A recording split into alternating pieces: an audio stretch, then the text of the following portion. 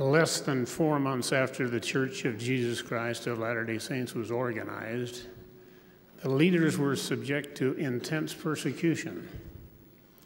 Partial seclusion had become necessary.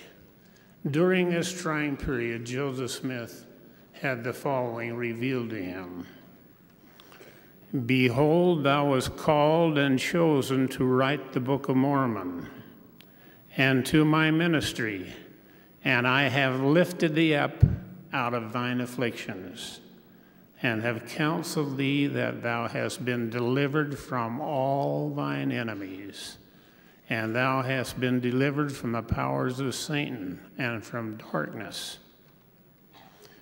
Be patient in afflictions, for thou shalt have many, but endure them, for lo, I am with thee even unto the end of thy days. Close quote. For lo, I am with thee even unto the end of thy days were the Lord's voice of gladness to his beloved prophet. His message to Joseph Smith and to us today is You can do it, and I will help you. Recently, we read in local newspapers an account of the devastating effects of a fire that completely gutted a low cost housing apartment. Many people were rushed out into the street for safety. They watched their living quarters and other earthly possessions go up in fire and smoke. One elderly gentleman who had escaped the Holocaust was interviewed. When he was asked, What were you able to save? he responded with, Only the things that you see, my clothing. His next comment was touching and significant. It was simply, Thank God there were no serious injuries or casualties. What did we hear from this tragedy? A voice of gladness from someone who could have been bitter and angry with the situation, but chose to share a mature sense of values. He was bigger than that which had happened. He saw beyond the present and gave appreciation and hope for conditions and people in the future. Disappointments, death, losses, or failures are real and difficult to manage, but should never cause us to have barbed tongues, lasting resentment, or negative attitudes. The gospel encourages us to develop the capacity to learn from the past and present and see the opportunities that can be ours in the days to come. From the Doctrine and Covenants, we are given this counsel. Now, what do we hear in the gospel which we have received? A voice of gladness, a voice of mercy from heaven, and a voice of truth out of the earth glad tidings for the dead, a voice of gladness for the living and the dead, glad tidings of great joy. How beautiful upon the mountains are the feet of those that bring glad tidings of good things. Close quote. The Lord would have us mingle our voices of gladness with His to give strength, encouragement, and joy to His children. I recall as a young boy going with my father to visit an elderly widow living in humble circumstances. We shared a couple of boxes of food with her. When we were leaving, her remarks touched my heart. She said, Thank you, Bishop, and please come back again, even if it's just to say hello. This was probably the first time I realized that food items were appreciated, but the words of encouragement and the personal visit were of greater value. In the world where there are often voices of pessimism and negative feelings, the voice of gladness is welcome indeed. Some seem to live with doubt, fear of the future, and sorrow for the past. If it is our nature to criticize or demean, we can cause the voices of gladness to be silenced. We need those who bring gladness into our lives. We need those who give encouragement and reflect optimism. Sincere yet simple words of praise can lift souls and bring gladness. Mark Twain once remarked that he could live for two months on one good compliment. In the words of the biblical Proverbs of Solomon, quote, a word fitly spoken is like apples of gold in pitchers of silver, close quote. Encouragement can be quick and simple, but it is a voice of gladness that is needed by everyone. Most of our returning military personnel are willing to be examples of voices of gladness as they remind us that some things in life, like precious freedom and liberty, are more important than life itself.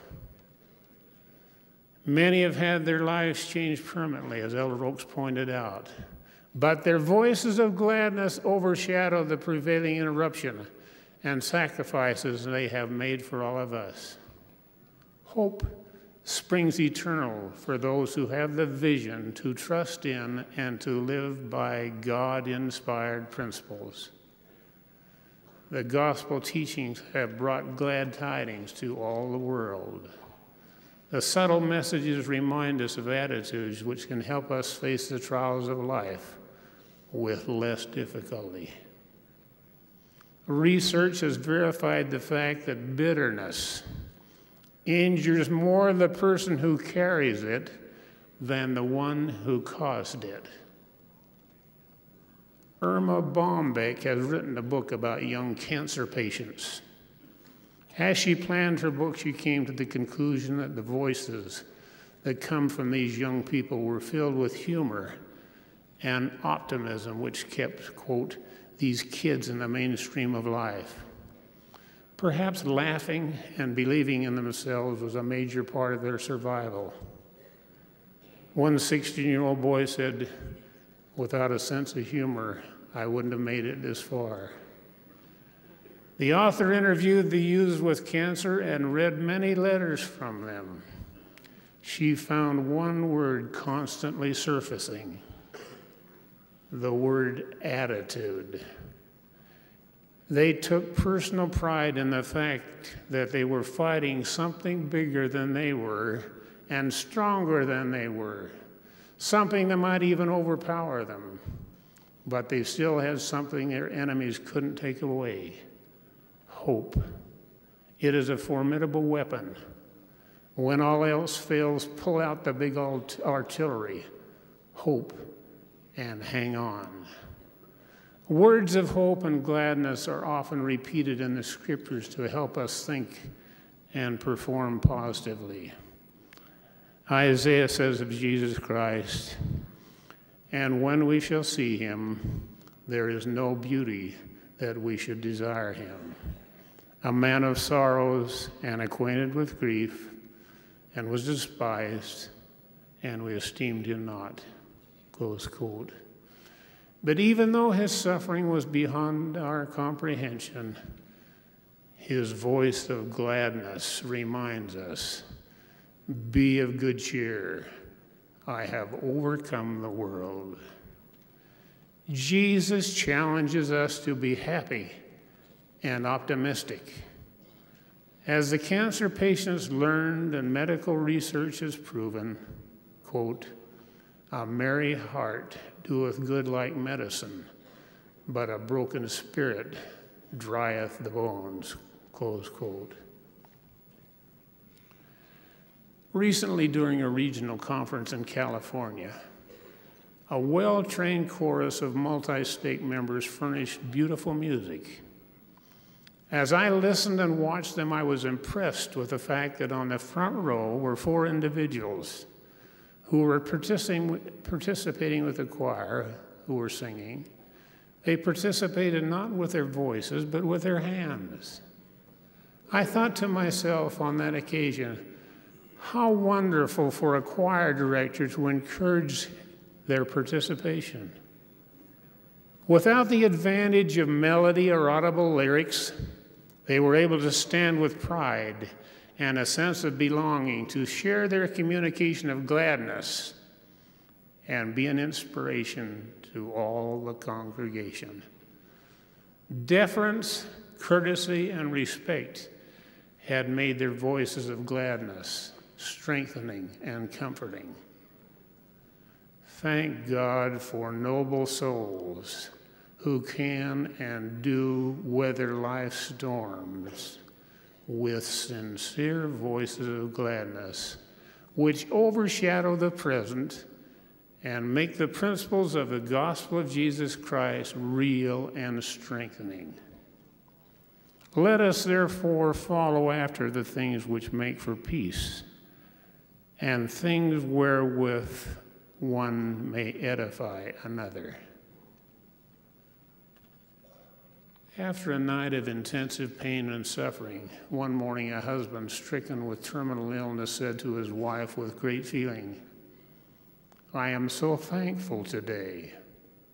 For what, she asked, knowing how difficult and trying was his situation.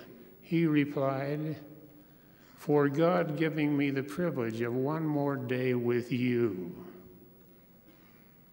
A voice of gladness is so refreshing when an attitude of despair might be deemed appropriate.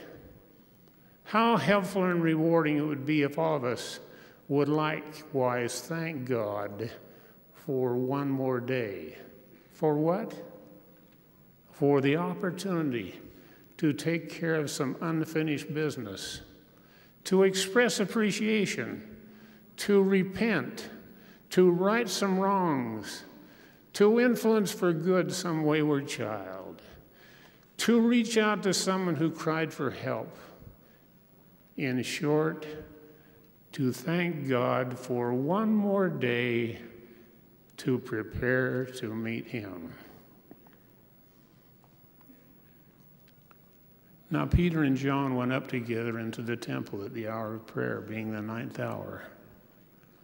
And a certain man, lame from his mother's womb, was carried, whom they laid daily at the gate of the temple, which is called Beautiful, to ask alms of them that entered into the temple. Who, seeing Peter and John about to go into the temple, asked an alms. And Peter, fastening his eyes upon him with John, said, Look on us. And he gave heed unto them, expecting to receive something of them. Then Peter said, Silver and gold have I none, but such as I have give I thee. In the name of Jesus Christ of Nazareth, rise up and walk. And he took him by the right hand and lifted him up. And immediately his feet and ankle bones received strength.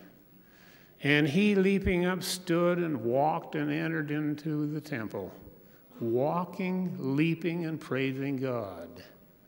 And all the people saw him walking and praising God. Now, hear Peter's proclamation of glad tidings. Quote, Ye men of Israel, why marvel ye at this? Or why look ye so earnestly on us? As though by our own power or holiness we had made this man to walk. Close quote. Peter, through his priesthood power, declared, In the name of Jesus Christ of Nazareth, rise up and walk. Then the feet of the lame man took the glad tidings of good things to all who were in the temple to hear and see. How impressive and encouraging and meaningful is the attitude of some parents who, when learning of the accidental death of their son while he was serving a mission full time, to say in perfect sweetness and understanding, quote, We will soon have another son available as a missionary. His time and service will also be in the hands of the Lord. Sure voices of gladness during tragedy help build men, women, and God's kingdom. We can choose our reactions to difficulties and challenges. One way to learn how to incorporate the voice of gladness through tragedy or happiness is to learn to apply gospel principles. They never teach us to overcome by the negative, by gloom, or by cynicism. From guidelines given to us in the scriptures and by the words of the prophets, we learn that life is a teaching experience. Self pity and discouragement do not come from the teachings of the gospel of Jesus Christ. But life can be both bitter and sweet. It is up to us to choose whether we want to reflect the voices of gloom or gladness. The voices of gladness were not always available to the masses. Death by fire was often the punishment for those who endeavored to read the Bible scriptures or to publish those glad works. Little by little, customs were changed by valiant people. Now we have scriptures and words of prophets for us to study. With the help of the Holy Ghost, it is our opportunity to understand and live by the doctrine of salvation. The voices of gladness from the scriptures remind us that we don't have to walk alone. Christ came that we might have life and have life more abundantly.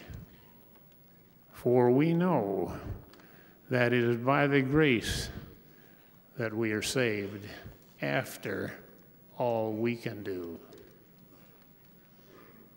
Let us remember the acts of kindness with pure motives and righteous purposes can be and are encouraged to be done in quietness, gentle voices, and privacy. We can program ourselves to build, encourage, and to give strength.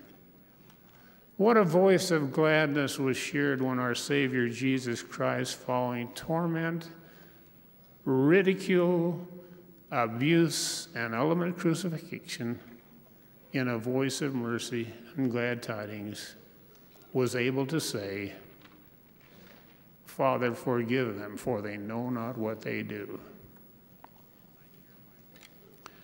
I share my witness and testimony that I know God is pleased when we declare glad tidings of truth, righteousness, and His reality. My voice of gladness today is that God lives. Jesus is the Christ. Let no one or any situation take this reality from you. I declare this message with a voice of gladness in the name of Jesus Christ. Amen. Amen.